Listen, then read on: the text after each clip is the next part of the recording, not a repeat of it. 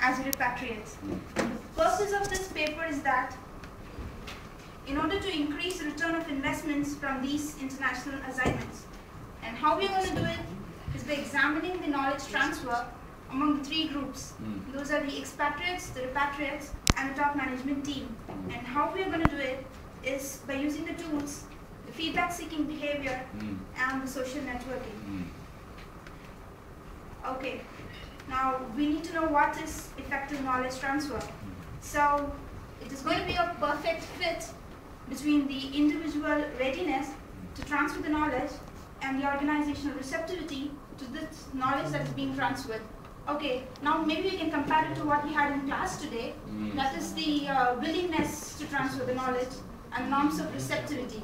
That is what uh, this is all about. Okay, I like this slide.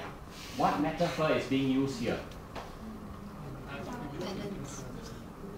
阴阳八卦。 Yin and yang, They are right? opposite qualities. Right? Okay, so you know it's a good idea. It's a good metaphor, good way of using metaphor. So individual readiness on one hand and it's balanced with organizational receptivity.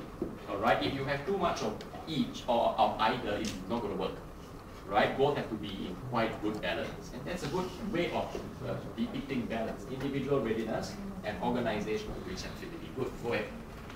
And why is it important for the knowledge transfer from the expatriates is that the expatriates are going to have very critical knowledge. Like they have the opportunity to know the local markets in their foreign subsidiaries and they also know the culture and the market, how it is going to be in the foreign subsidiaries when they meet there.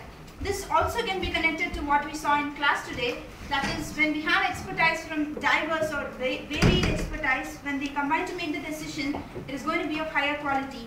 So that, uh, by that means, we know that the expatriates are going to give a very valuable input in decision making of the organization.